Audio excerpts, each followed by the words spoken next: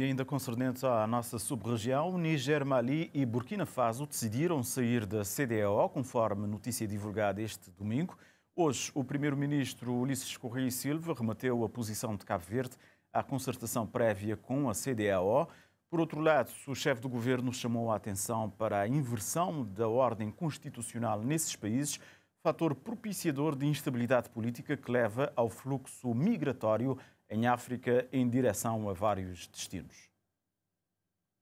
a nossa posição vai ser eh, concertada com, com... Burkina Faso decidiram sair da CDAO, conforme notícia divulgada este domingo.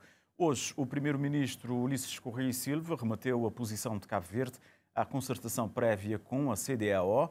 Por outro lado, o chefe do governo chamou a atenção para a inversão da ordem constitucional nesses países, fator propiciador de instabilidade política que leva ao fluxo migratório em África em direção a vários destinos. a nossa posição vai ser eh, concertada com, com a CDO.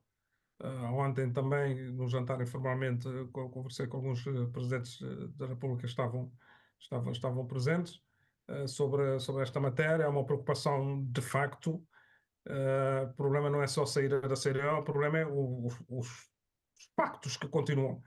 Uh, portanto, é, o golpe de Estado, depois a continuação, para além do golpe de Estado, uh, poderes não institucionalmente, uh, e, não, como diria, legitimados, legitimados pelo, pelo voto, pelo povo, há que se encontrar uma, uma solução, porque o, o potencial de criar, de criar instabilidades a nível do, dos países continentais, particularmente esse fluxo migratório, esse fluxo de pressão uh, que procura sobrevivência uh, para outras fronteiras, uh, tem, tem impacto muito, muito grande e a CDO vai, vai ter um posicionamento em breve relativamente a esta matéria.